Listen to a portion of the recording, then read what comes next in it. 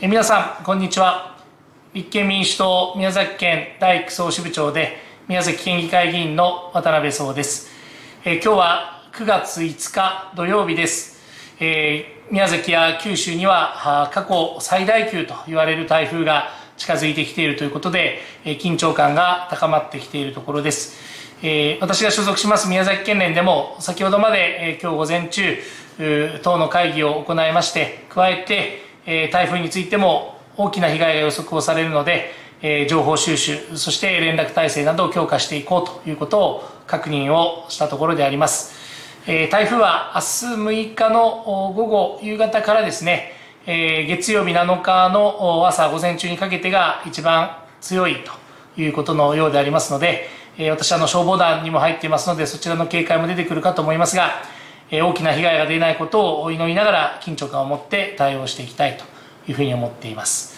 今日は2つのことをご報告したいというふうに思っています。一つは立憲民主党そして国民民主党、まあ、さらに無所属の皆さん等との新党の結成の話題についてですが、ま、これまでも私どもの考え方については基本的なところをこの動画ミニでもお話をしてまいりましたが、えー、昨日4日の夜国民民主党宮崎県連の田口裕二代表同僚の県会議員でもありますけれどもご連絡がありました、えー、国民民主党に所属をする自治体議員の皆さんは、え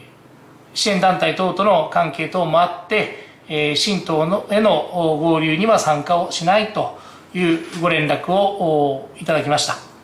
えーまあ、大きな塊を作って野党勢力を結集をしてですね次期国政選挙も含め新しい政治の柱を作っていこうという、まあ、願い思いでの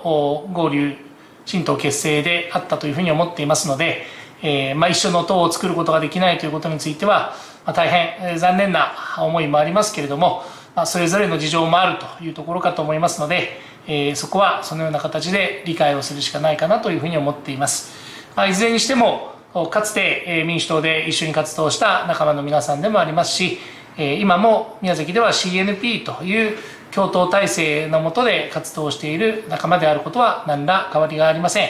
えー、我々立憲現在の立憲は宮崎区が中心そして国民の皆さんは宮崎2区が中心という状況の中ではありますがこれからもしっかりと力を合わせてですね、えー、新しい政治を築いていくために現状を打破し風穴を開けていくということに力を合わせて取り組んでいければというふうに思っています。え、新党向けてに向けてのに向けての手続きはそのような形で進めざるを得ないことになりましたので、粛々とその準備を進めていきたいというふうに思っています。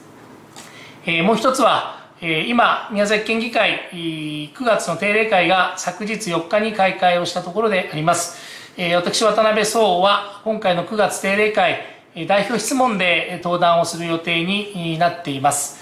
質問日は9月の10日、木曜日ということになりますが、この日の午前10時からの代表質問登壇となります。県民連合宮崎という6人で構成しています宮崎県議会の第2会派を代表しての質問ということになります。持ち時間は宮崎県議会は片道方式といいますが私の質問者の持っている時間が50分ということになりますので、おおむね答弁も同じぐらいの時間というふうに想定をして、えー、往復で、100分ということになりますので、えー、午前10時から、えー、午前11時40分ぐらいまでの質問になるかというふうに思います。えー、国政の状況等を見定めていると、もしかすると、この9月定例会が私にとっての県議会では区切りの議会となるかもしれません。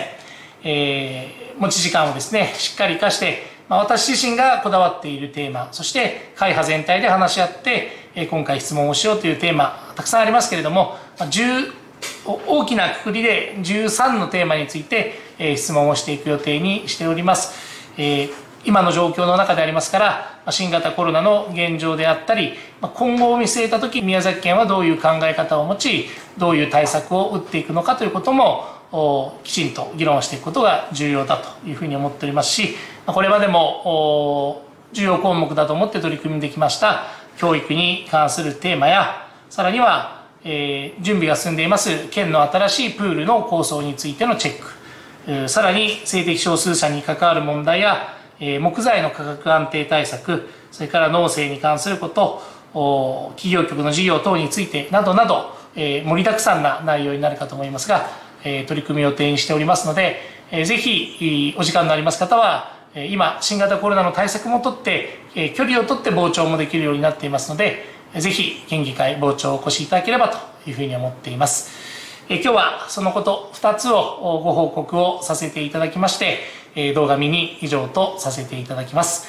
えー、台風近づいております。皆さんそれぞれの地域、幅広い地域で影響が出そうでありますので、まずは命を守るということを最優先に、えー、どうか安全にお過ごしをいただきたいというふうに思います。えー、ご覧をいただきまして、どうもありがとうございました。